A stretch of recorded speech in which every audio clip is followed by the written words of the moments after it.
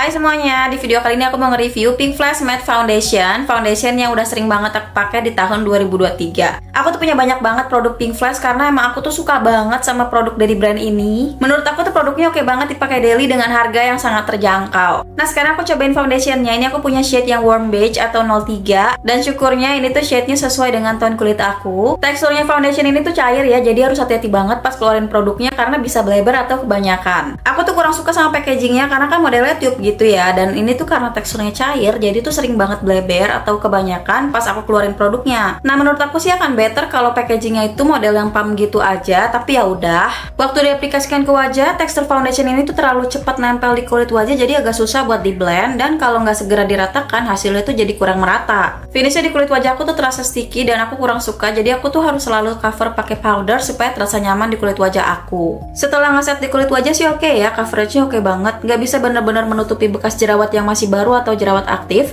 tapi bisa meratakan kemerahan atau noda-noda kecil bekas jerawat. Nah ini before after pemakaian Pink Flash Matte Foundationnya. Menurut aku sih coveragenya medium to high ya. Beberapa kemerahan dan noda-noda bekas jerawat tuh tertutup dengan baik Dan jerawat aktif aku yang ada di dahi itu cukup tersamarkan meskipun gak sampai fully covered. Selama pemakaian foundation ini tuh gak terlalu tahan lama ya Jadi paling bisa tahan hingga 4 jaman tanpa nge-crack Nah setelah 4 jaman biasanya tuh makeup aku ada crack di area bibir dan area mata. Dan meskipun coverage udah mulai menipis atau hilang, tapi kulit aku tuh masih tampak matte dan terasa nyaman gitu, nggak yang kusam gitu loh. Harganya tuh 40 ribuan, tapi foundationnya itu sering banget ada diskon di e-commerce, jadi kalian mungkin bakal dapetin harga yang lebih murah lagi. Sekali lagi menurut aku foundation ini tuh recommended banget untuk dipakai daily karena memang coveragenya oke dan formulasinya nyaman banget untuk dipakai harian. Well tipe kulit wajah aku tuh kering, jadi selama pemakaian itu kulit wajahku tampak matte meskipun udah berjam-jam dipakai dipakai. Aku nggak tahu gimana hasilnya di kulit wajah yang oily karena efeknya mungkin aja berbeda. Dan kalau kalian mau pakai foundation ini untuk acara penting, saran aku sih kalian pakai dua layer untuk hasil coverage yang lebih maksimal dan lebih tahan lama. Boleh juga tambahin concealer supaya noda-noda di wajah bisa tercover dengan lebih baik.